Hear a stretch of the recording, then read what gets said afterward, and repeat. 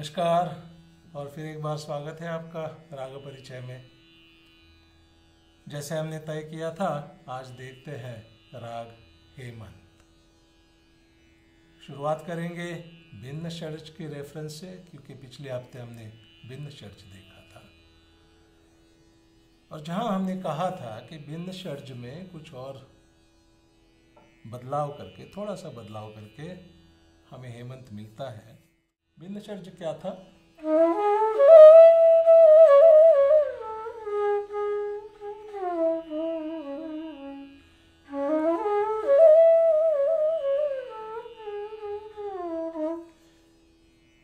हमने क्या किया है?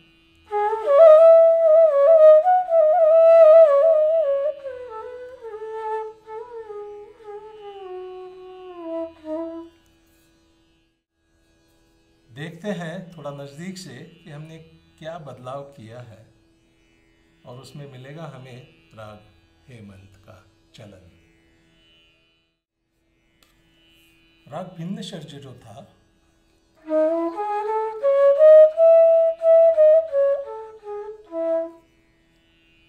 इसमें पंचम नहीं था और ऋषभ भी नहीं था, प भी नहीं था और रे भी नहीं था। ये दोनों सुर हमने ऐड कर दिए हैं हेमंत में। तो दोनों आएँगे अवरोह में। सो आरोह जो होगा, वो भिन्न शर्च का होगा और अवरोह में हम उसमें वक्र रूप से पंचम ऐड करेंगे और ऋषभ ऐड करेंगे। लेकिन ये करने से एक बड़ा फ़र्क ये होगा कि हमारा तानपुरा जो मध्यम में चला रहे थे हम भिन्न शर्ज के लिए, क्योंकि पंचम नहीं था, वो अब पंचम में लग रहा है।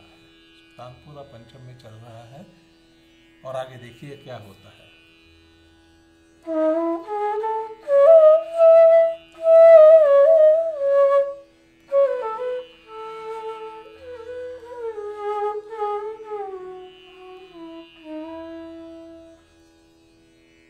तानपुरा तो पंचम में है, लेकिन प्रबलता है मध्यम की, मध्यम प्रोमिनेंट दिखा रहे हैं।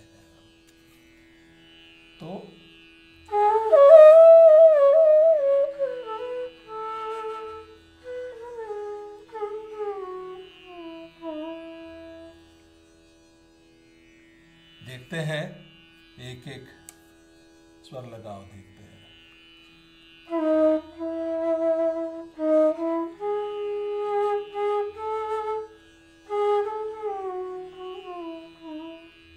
गम रे सा ये टिपिकल आपको याद होगा तो रागेश्वरी में ऐसे हो रहा था गम रे सा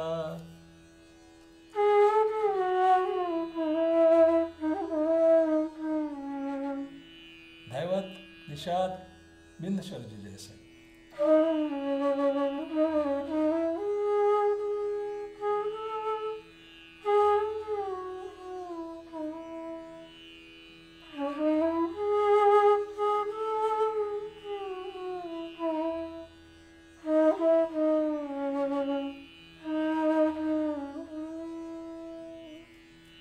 आगे चलते हैं। मध्यम एक तरफ़ से यहाँ से लग रहा है।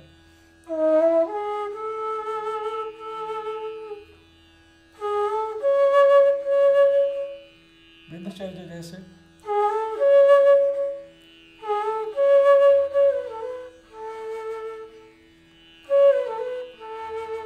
पंचम का कण लेके मध्यम आ रहा है।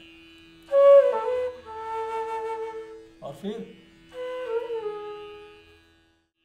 गम द द द प म प म म म पे आके टिक रहे हैं। हम द, प, म प म, प, ग, और फिर वापस वक्र रूप से फिर पंचम को टच करके गंधार को आ रहे हैं।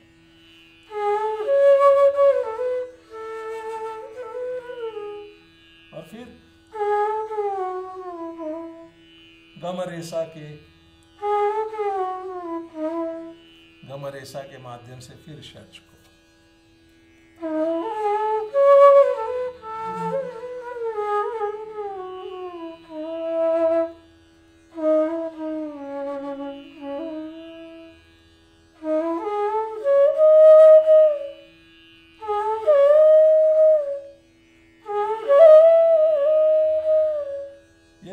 सर्च का रूप है।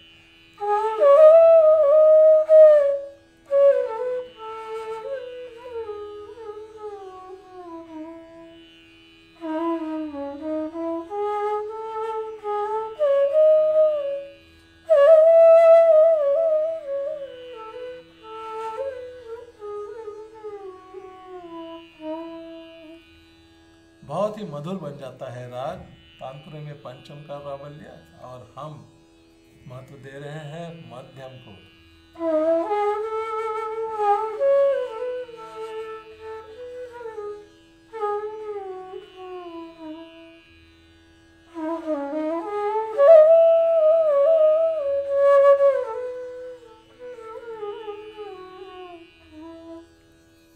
बहुत ही मीठा बन जाता है राग ये। देखते हैं इसका पूरा संचार कैसे होगा।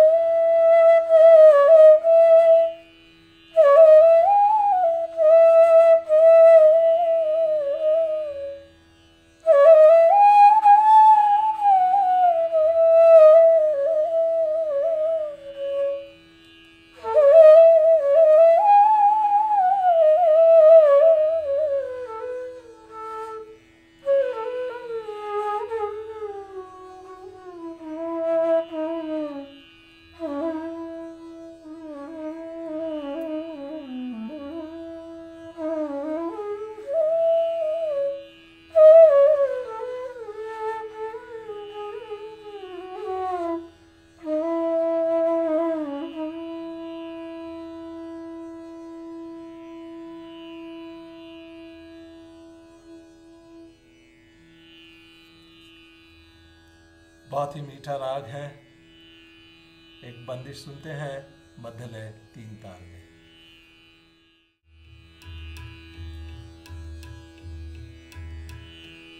Thank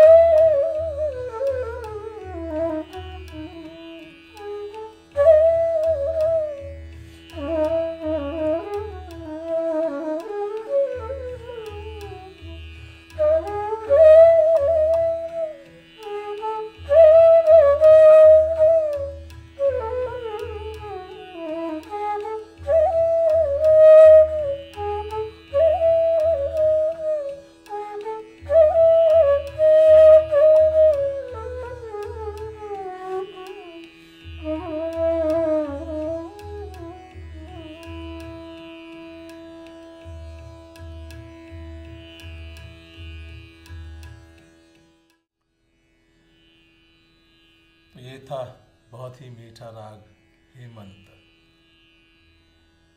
हेमंत में जिस कम रेशा का हमने प्रयोग किया,